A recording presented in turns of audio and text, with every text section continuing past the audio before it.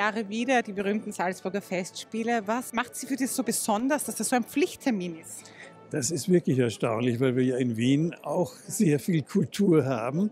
Aber es ist einfach etwas ganz Einzigartiges und das darf man auf keinen Fall versäumen. Freuen wir uns das ganze Jahr immer drauf. Ist für mich nicht nur Pflichttermin, sondern ein absolutes Highlight. Als Salzburgerin komme ich natürlich ganz gerne hierher und es ist so schön, dass auch das Wetter heute schön ist, dass so viele Menschen da sind und sich alle freuen auf einen wunderbaren Festspielsommer. Die Damen zeigen auch gerne ihre schönen Roben und äh, gesehen und gesehen werden, ja. Da schaut man natürlich auch gerne hin, oder? Absolut, schön anzuschauen. Darum fahre ich jedes Jahr her und ich freue mich schon.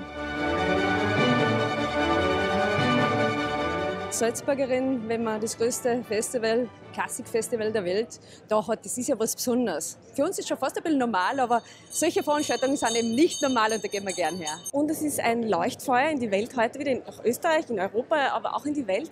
Und ähm, unser Außenminister hat gestern auch bei einem Empfang gesagt, Österreich ist eine Supermacht, nämlich in der Kultur. Und das sind wir und das zeigen wir heute auch wieder ganz klar. Und die Kultur ist einfach jetzt noch wichtiger, weil sie die Menschen zusammenbringt. Salzburg führt uns vor, dass nur wer weltoffen ist, auch Weltdrang haben kann. Das ist ein Signal, das wir, glaube ich, als Gesellschaft gerade gut brauchen können. Und deswegen komme ich auch jedes Jahr wieder sehr, sehr gerne her. Nicht nur Pflicht, sondern es ist auch Kür. Ich freue mich immer drüber. Man trifft erstens einmal, wie man hier sieht, auch relativ viele Leute, kann wieder mal plaudern, ungezwungener. Und die Veranstaltungen sind natürlich großartig. Die Salzburger Festspiele stehen für das, was unsere Gründerväter schon manifestiert haben. Das Beste in Oper, Konzert und Theater. Und wir freuen uns sehr, heute Abend die Eröffnung für einen wundervollen Festspielsommer zu machen. Wie kann man der Jugend vielleicht auch die Kultur näher bringen? Viele Institutionen, vom Theater bis zur Oper, bemühen sich ja um die Jugend und ich glaube, das ist auch relativ erfolgreich, weil es ja kaum irgendwo anders so viel auch jüngere Leute gibt, die in die Oper gehen und in Konzerte gehen, überall in Österreich.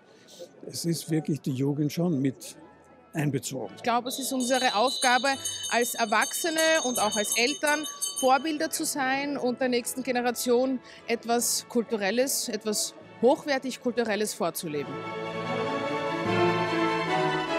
Wie würden Sie die Rolle Ihres Lebens beschreiben? Was ist meine Rolle meines Lebens?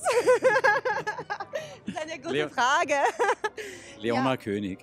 Ja, genau. Gute Frage. Meine Lebensrolle ist ähm, einfach ähm, freudig durchs Leben zu gehen und äh, diese Freude auch zu verbreiten. Naja, ich bin ja nicht Schauspielerin, sondern Politikerin. Aber auch als Richterin damals hat man natürlich sich auch immer wieder versucht hineinzuversetzen in das, was man dann auch zu verhandeln hat. Also insofern ist mir das nicht ganz fern, aber als Rolle des Lebens würde ich das nicht bezeichnen. Meine Lebensrolle ist die eines, der versucht, Menschen etwas zu erklären, was sie selber auch nur schwer verstanden haben.